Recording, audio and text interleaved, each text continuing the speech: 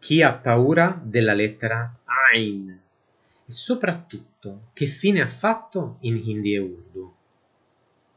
Oggi, con questo video, cercheremo di svelare questo mistero, ma una premessa è doverosa. Coloro eh, fra eh, gli stranieri che si cimentano con lo studio della lingua araba eh, sono destinati invariabilmente a eh, scontrarsi con alcune difficoltà mh, mm, quando si misurano con l'inventario fonetico di questa lingua. E no, non mi sto riferendo a suoni come kh o come ha, perché parliamoci chiaro, questi sono suoni da pivelli. Sto parlando proprio della famigerata lettera Ein, Ein, che tecnicamente è una faringale fricativa sonora. Eh, potrei meglio descriverla come un suono che ricorda un conato di vomito e mi rendo conto che non è un'immagine molto gradevole, ma vi assicuro potrei essere anche più cruento. Vi faccio vedere la forma di questa lettera, che è questa. Come vedete, assomiglia a un 3 che si guarda allo specchio ed è questo il motivo per cui questa lettera sarà trascritta con un 3 nei sottotitoli di questo video. Ma sentiamo ora come suona la Ain accompagnata dalle tre vocali brevi della lingua araba. Abbiamo A, Ai, Au. Non è proprio una cosa per deboli di cuore, me ne rendo conto. Un libro vecchissimo proponeva un certo esperimento, e cioè quello di cantare una scala musicale al contrario, cercando cioè di raggiungere la nota più grave possibile. Una volta raggiunta la nota più bassa fossimo stati capaci di emettere, continuare a sforzarci fino a produrre un suono strozzato che sarebbe stato proprio il suono della lettera Ein. A questo punto, come minimo, dovete provarci, ma io mi asterrò. Certo, eh, all'inizio di una parola, con un po' di esercizio, non è impossibile pronunciare questo suono. Pensiamo ad esempio alla parola araba che eh, significa miele, che è asal, asal. Non impossibile, direi. È certamente più difficile pronunciare la Ain dopo una vocale e prima di una consonante, come ad esempio nella voce verbale araba a'arifu, che significa so, conosco, come ad esempio nella frase la a'arifu dalik, la a'arifu dalik, a'arifu, a'arifu. È difficile pronunciarla dopo un suono vocalico più semplice e subito prima di una consonante. Difficile è anche pronunciarla in fine di parola, specie se ci asteniamo dal, eh, dal pronunciare gli arab, cioè le desinenze di declinazione. Sì, perché l'arabo ha anche una declinazione, eh, quantomeno nella sua versione classica. Quindi, ad esempio, pensiamo alla parola che vuol dire settimana e che in arabo è usbu'a, usbu'a come ad esempio nella frase ci incontreremo la settimana prossima. Sanaltaqi al-usbu' al-qadim. Sanaltaqi al-usbu' al-qadim. Vi chiederete a cosa sia servito tutto questo panegirico e cosa c'entri con le lingue hindi e urdu. Bene, sapete già che l'urdu e di riflesso e di conseguenza la lingua hindi si sono imbevute di tantissimi termini arabi, anche tanti termini arabi che contenevano la lettera Ain.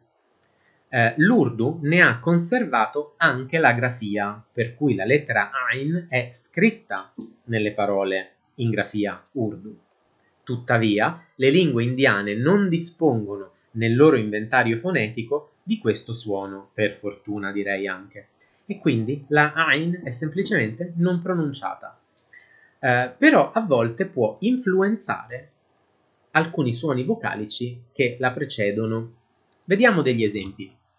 Uno dei termini arabi che vogliono dire edificio è Aimara, Aimara, che è passato in urdu e viene pronunciato Imarat, Imarat, che significa sempre edificio. E qui non notiamo alcun cambiamento. Uh, un altro termine arabo che significa uso, utilizzo è isti'mal, isti'mal, con la Ain pronunciata dopo una I breve. Ebbene, eh, quando la Ain segue una I breve, in Urdu la I breve viene pronunciata E e la Ain ignorata totalmente e quindi uso o utilizzo lo pronunceremo istemal, istemal.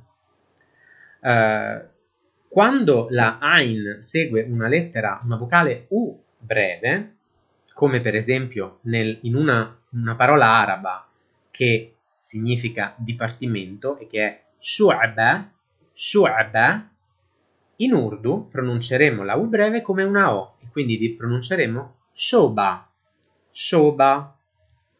Ancora, quando la Ain segue una A breve, farà pronunciare questa A breve come una A lunga, come ad esempio nella parola araba ma'lum, ma'lum, che in urdu si pronuncia semplicemente ma'lum, ma'lum. Eh, fra gli urdofoni non mancano coloro che eh, hanno una ottima conoscenza dell'arabo, perché magari l'hanno studiato come lingua straniera anche per interesse religioso e potrebbe accadere che questi parlanti pronuncino eh, la Ain secondo il suo valore fonetico originario in lingua araba. Questo non è comune ed è anche considerato pedante. Ma cosa succede invece in Hindi? Eh, la lingua hindi utilizza comunemente molti termini in comune con la lingua urdu derivati dall'arabo, anche nei quali originariamente era presente la lettera Ain. Ma semplicemente nella scrittura Devanagari non esiste alcun simbolo per riprodurre l'esistenza originaria di questo fonema, per cui possiamo star certi che in hindi non sopravvive mai alcuna pronuncia, alcuna traccia di questo suono e per fortuna direi. Vediamo un esempio con le parole di prima e prendiamo eh, il caso di istemal, uso. Se io volessi dire utilizzi il mio telefono, direi in hindi e in urdu mera phone istemal kijiye, mera phone istemal kijiye, istemal kijiye utilizzi. Uh, onor del vero, diciamo anche che un termine ancora più hindi per dire utilizzare è Priog Karna. E quindi in questo caso la frase potrebbe essere un po' più indizzata Merafon Priog Kijie. E questo è quanto. Siamo contenti di poter studiare delle lingue indiane senza dover pronunciare la Ain, altrimenti sai che fatica.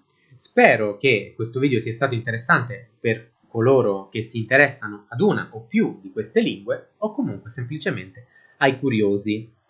E adesso, come minimo, dovete imparare tutti a pronunciare la Ain. Ciao!